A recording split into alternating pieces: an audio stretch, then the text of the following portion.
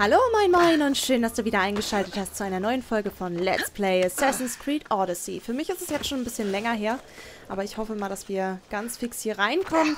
Wir machen heute mit der Nebenquest rund um die Messer weiter. Wir haben ja nun herausgefunden, dass der Bruder von Agapios definitiv der Anführer der Messer ist. Sprich, als nächstes, denke ich, werden wir ihn eliminieren müssen. Außerdem werden wir heute bei der Hauptquest weitermachen, denn ich hatte ja gesagt, ich kehre nicht zurück und so weiter. Und ich habe ganz vergessen, dass wir ja Agapios, Agapios sage ich schon, Herodotos treffen wollten. Und zwar bei den Thermopylen. Dort, wo Leonidas gekämpft hat und gefallen ist. Ähm, deswegen, wir machen jetzt kurz das mit den Messern fertig, weil wir da eben schon mit angefangen haben. Und ich das nicht so gerne auseinanderreißen möchte. Und dann machen wir weiter mit der Hauptquest. So, ich habe schlechte Neuigkeiten für dich, mein Freund. Du bist zurück. Was hast du erfahren? Die Messer haben ihr Lager auf Skyros. Sie scheinen ein Ritual beim Tempel des Achilleus zu planen. Was hast du über meinen Bruder erfahren? Lebt er? Ist er der Eisvogel? Ja, leider. Es tut mir leid, Agapios. Neritos ist der Eisvogel. Er steht hinter den Messern.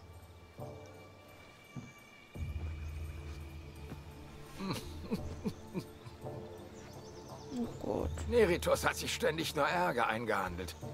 Ein Tempel für Achilleus auf Skyros, sagst du? Agapios! Halt, Sklave! Halt, Sklave! Wache! Wache! Nein! Dieser Mann verdiente sich seine Freiheit vor langer Zeit. Dank dir wurde das wahre Gesicht der Messer enthüllt. Und Oboya hat eine Chance zu überleben. Du hast dir deine Belohnung verdient. Obwohl ich fürchte, dass es nicht reichen wird, Skyros zu stürmen. Der Eisvogel hat sich jahrzehntelang im Schatten versteckt. Es wird nicht einfach, das zu beenden. Hilf mir. Hilf, Euboja. Ja, klar. Ich sehe, was ich tun kann. Gut, gut. Ich führe einen kleinen Trupp zum Schmugglerhafen auf Skyros. Triff mich dort und wir werden die Messer gemeinsam zerschlagen. Boah, wir kriegen sogar Unterstützung. Ich bin begeistert. Und wir haben jetzt sogar einen Aufstieg. Habe ich das gerade richtig gesehen? Nee, doch nicht. Wow. Ach nein, Moment. Ich war unterwegs und habe so eine alte Schrifttafel gefunden. Und da bekommt man halt auch immer noch was dazu. Äh, so, wo sollen wir jetzt hin? Ein Sklave in Verdacht? Nee, nee, nee. Das ist keine laufende Quest. Lasst mich nochmal ganz kurz gucken. Genau, Eisvogel. Du, du, du, du, du, du, du, du, du. Sie wollen Blut sehen. Das ist falsch. Das ist Skura. Oder ist es das doch? Äh, nee, nee, das ist Arena. Wo haben wir es denn? Der Eisvogel und das Rotkehlchen. Oh Mann. Das tut mir total leid. Ich könnte mir vorstellen, dass sein Bruder da jetzt hingeht um ebenfalls Gerechtigkeit zu verüben. Wo müssen wir hin? Da müssen wir hin. Schmugglerhafen. Also machen wir kurz eine Schnellreise. Aber ich bin dann ja eigentlich schon da, wo wir sein sollen, oder? Beim Tempel des Achilleus verstecken sie sich. Ich mache da jetzt gerade eine Schnellreise hin. Also irgendwie... Muss ich die dann jetzt doch alleine bekämpfen? Ich habe keine Lust, die alleine zu bekämpfen. Ich will Hilfe. David gegen Goliath. Die Perserkriege 490 bis 479 vor unserer Zeit endeten mit, ja, gute Frage. So.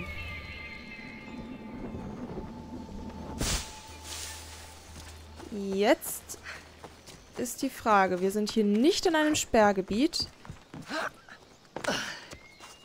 Hier auch nicht.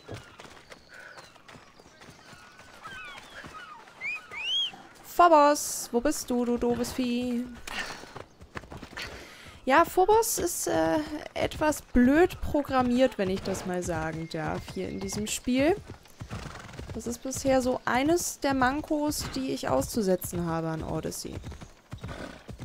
Und halt auch, dass das Spiel so unglaublich umfangreich ist, dass man gar nicht so genau weiß, wo man als nächstes weitermachen soll.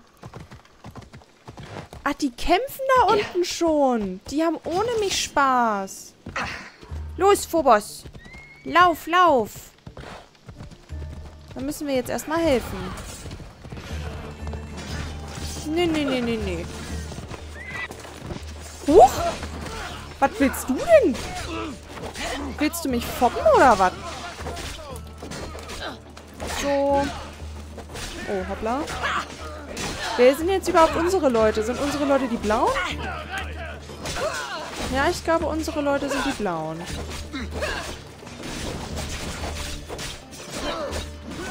So, das war der Kollege. Das war der. Ich dachte eigentlich, dass die Messer so ein bisschen schwieriger zu besiegen sind, aber gut.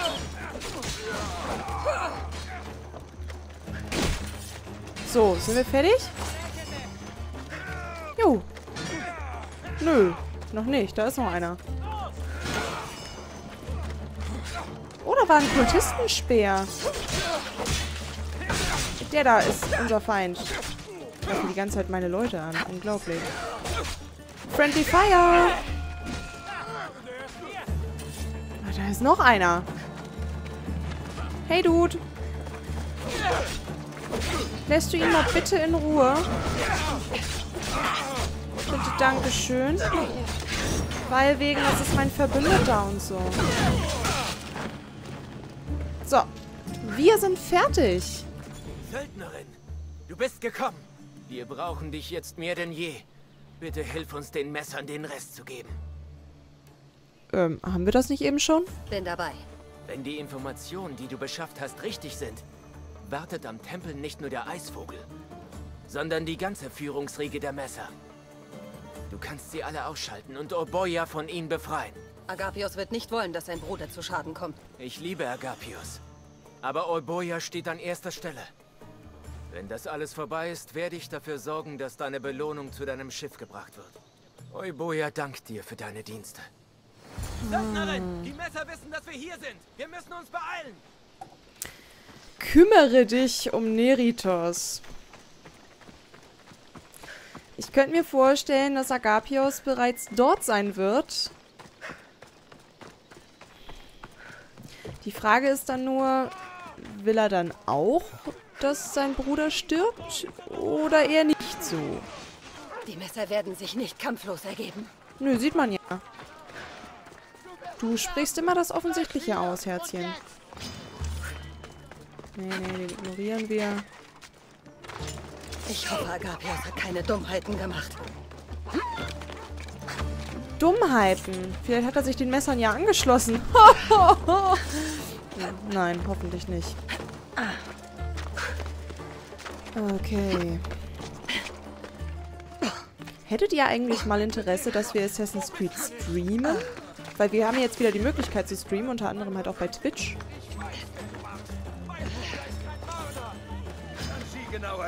Wir sind nicht mehr die, die wir einst oh. waren. Alter, was zur Hölle? Was seid ihr denn? Was seid ihr denn für Kloppos? Weg, weg, weg. Ja, ich versuche ja anonym zu werden, aber die sind mir hier alle im Weg. Moment mal, kann ich so machen und den dann da... Ach, schade. Vielleicht nochmal, wenn er hier an der Klippe steht. Paff! Tschüss!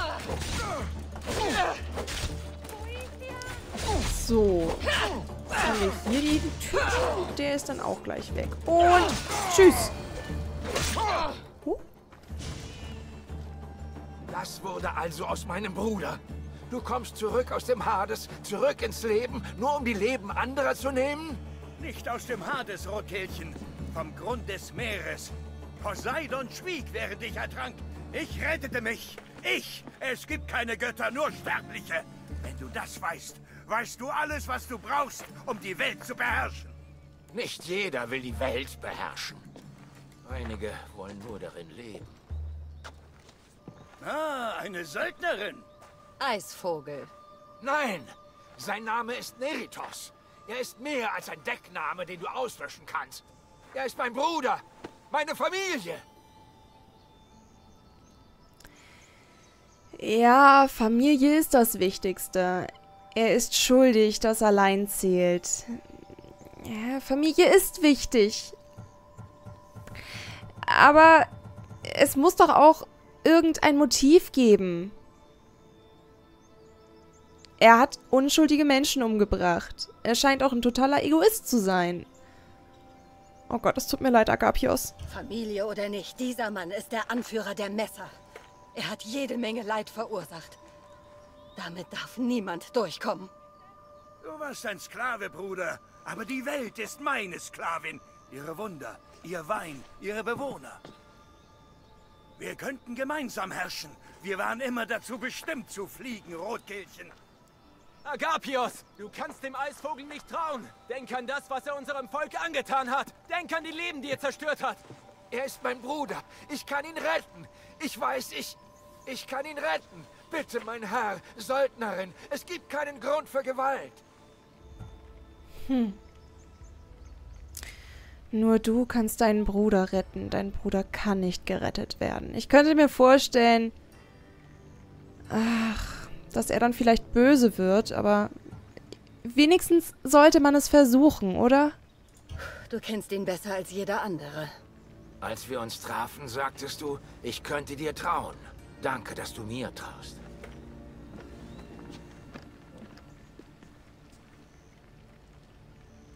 Neritos, Bruder, erinnerst du dich an unsere Jugend, als wir durch die Straßen von Kalkis liefen? Vater hinter uns her. Er konnte keine Vögel fangen. Also wurden wir zu Vögeln. Das Rotkehlchen und der Eisvogel. Die können wir wieder sein. Skyros und Eubola und die Messer, das lassen wir hinter uns. Und nie zurückkehren? Wir können fliegen. Schubs. Dann flieg, Rotkehlchen. Flieg! Ich wusste es. Agapios! Leb wohl, Bruder. Die Messer gehören mir. Die griechische Welt gehört mir. Das wird mir niemand nehmen. Mein Bruder nicht und auch du nicht. Söldnerin, Na, dann komm her. Oh, Drecksack. Aber genau das habe ich mir schon fast gedacht. Oh, Die Messer sind Geschichte. huch. Oh, er konnte auch fliegen. Agapios ist jetzt definitiv äh, tot. Habe ich das gerade richtig gesehen? Den Sturz hat er wahrscheinlich nicht überlebt, was? Das war so klar, aber andererseits hätte er uns gehasst. Na gut. Muss der jetzt unbedingt mit jedem hier kämpfen? Hallo? Bleibst du mal bitte hier? Ich will mit dir reden. Hallo? Ich will... Der verwickelt uns jetzt in alle möglichen Kämpfe, ne? Wie ich das hasse. Na komm, spring! Mann, Mann.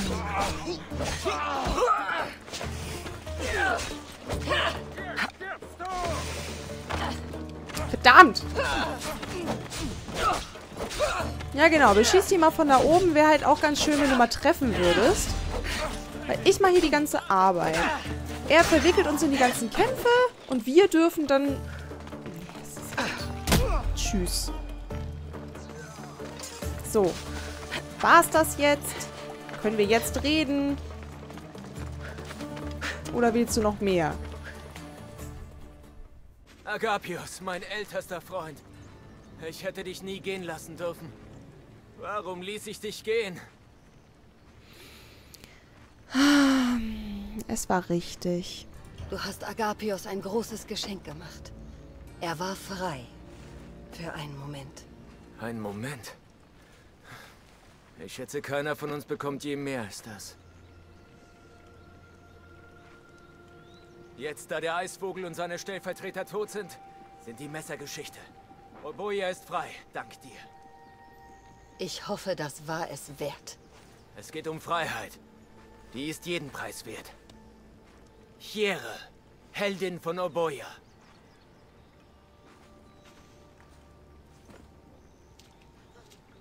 Tja.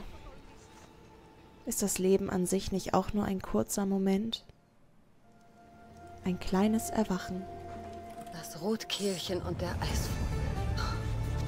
Wenn man seiner eigenen Familie nicht trauen kann, Wem dann? Ist leider so. Damit haben wir einen neuen Stufenaufstieg. Wunderbest. So. Ähm, ich mache fix eine Schnellreise. weil hier in der Nähe leider nirgendwo eine Schnellreisestation ist. Also sehen wir uns gleich bei der Videosequenz mit Herodotos bei den Thermopylen. Boah. Hier eine Villa hinbauen, das wäre doch was. So mit der Aussicht. Wunder, wunderschön. Guck mal, Wild hat man hier auch direkt vor der Tür. So. Thermopylen. Man sagt, man kann dieses Schlachtfeld nicht überqueren, ohne dass sich die Füße rot färben vom Blut. Eine große Schlacht. Und die haben wir auch am Anfang gesehen in Part 1. Und da ist Herodotos. Hallo, mein Freund. Wenn du deine Augen schließt, kannst du sie hören. Ihre letzten Kriegsschreie, bevor jeder dieser tapferen Spartiaten umkam. Sie wurden an diesem Tag zum Schweigen gebracht. Aber an ihre Geschichte wird man sich auf ewig erinnern. Das ist wahr. Du hast mich doch nicht hierher gebracht, damit wir über tote Spartiaten reden. Was willst du, Herodotos? Die Schlacht bei den Thermopylen klingt noch in unseren Herzen nach. Aber hier fühlt man es in den Knochen. Hier gibt es nichts außer Geistern. Ich sorge mich um die Lebenden. Strecke deinen Speer aus. Meinen Speer? Warum? Ich muss etwas wissen. Ist es ein Artefakt?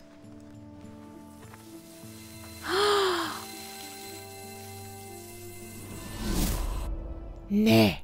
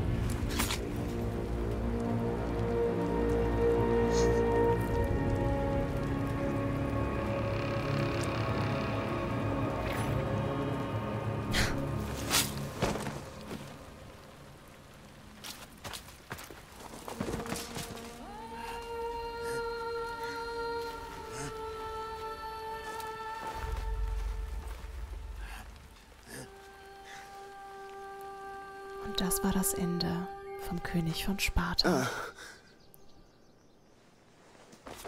Herodotos!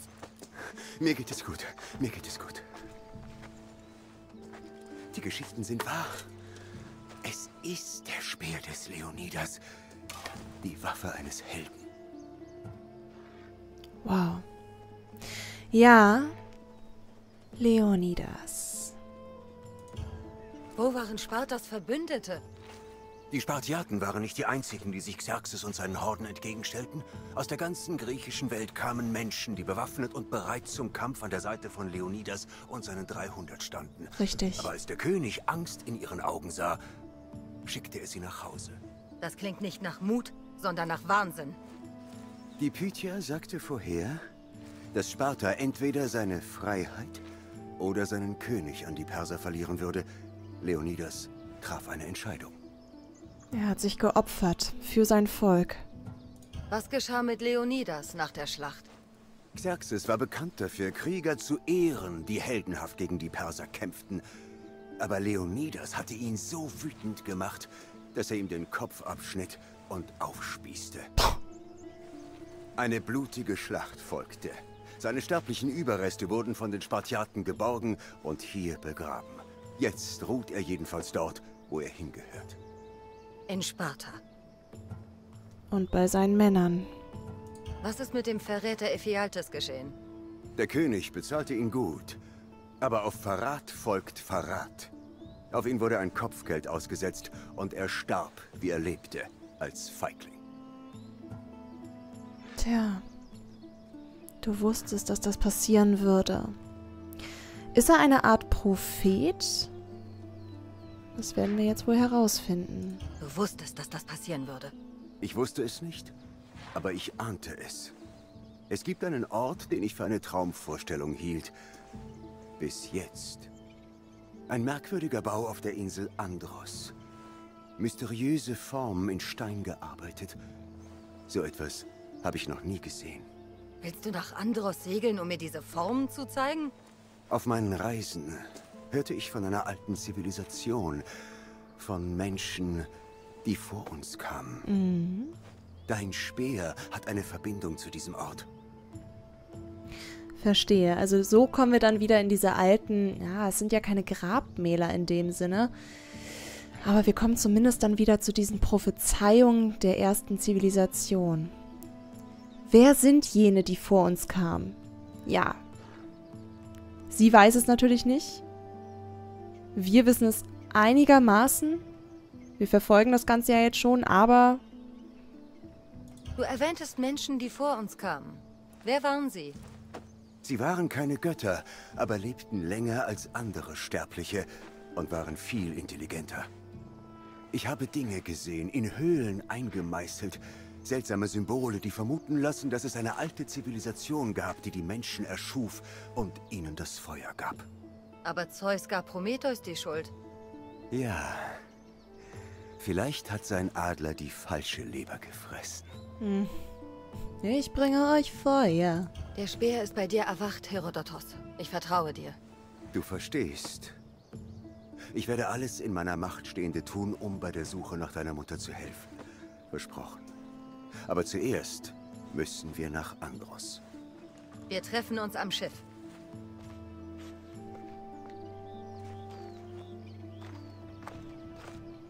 Wow. Ich glaube, heutzutage kann man gar nicht mehr zu den Thermopylen gehen, denn äh, mittlerweile hat das Meer sich diesen Schauplatz genommen.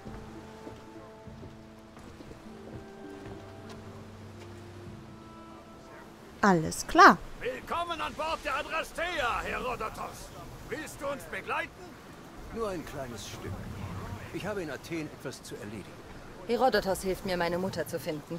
Du hast den Beistand der Götter gesucht und sie brachten dir Herodotos. Genau wie sie dich zu mir brachten. Ihre Pläne entziehen sich unserem Verständnis. Wir können nichts tun, außer ihnen zu folgen.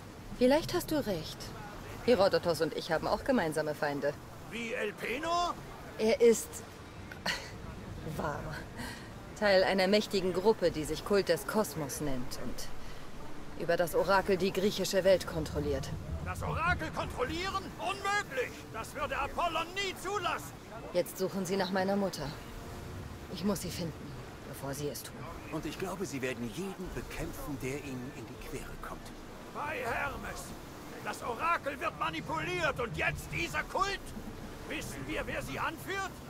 Ich weiß es nicht sicher, aber... Es könnte mein Bruder sein. Dein Bruder! Bei Zeus, dein Leben ist kompliziert. Wem sagst du das?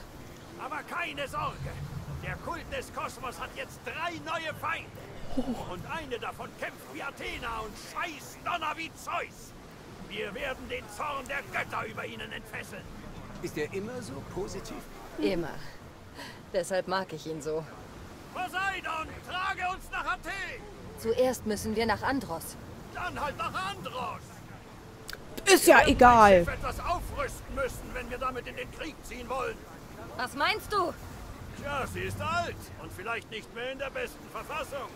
Hättest du das nicht vor dem Ablegen sagen können?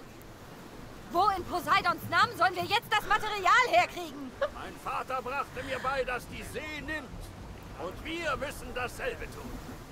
Zum Glück gibt es hier viele Piratenschiffe, die wir kapern können, um uns zu bedienen. Worauf warten wir noch? Jagen wir Piraten! Yo ho, yo ho. Material haben, können wir den Schiffsrumpf verstärken. Ja, Riesen sei Poseidon. Wie die Faust des Meeres wird sie unsere Gegner zerstören. ich hatte das Ganze schon fertig. Ähm, deswegen, ich habe jetzt nur gewartet, dass mal ein Stopp kommt, damit ich euch in Ruhe auch noch verabschieden kann. Ähm, der Vollkommenheit halber haben wir jetzt auch noch mal was zur ersten Zivilisation gehört. Wir kommen jetzt also wieder in dieses kleine Assassin's Creed-Universum rein. Cassandra wird jetzt auch von der ersten Zivilisation erfahren. Wir fahren jetzt als nächstes nach Andros, um uns dort diese mysteriöse Felsformation anzuschauen. Ich denke mal, dass das wieder so ein Ort ist von der ersten Zivilisation, wo wir wieder eine Art Prophezeiung oder sowas sehen werden. Diese Projektion ähm, von diesen ersten Menschen. Ich würde sagen, wir machen an dieser Stelle einen Cut. Das Schiff hatte ich soweit schon modernisiert und aufgerüstet. Und dann wünsche ich euch noch einen wunderschönen Morgen, Mittag oder Abend. Bis morgen. Schnitzelmama over and out. Und nicht vergessen, nichts ist wahr. Alles ist erlaubt.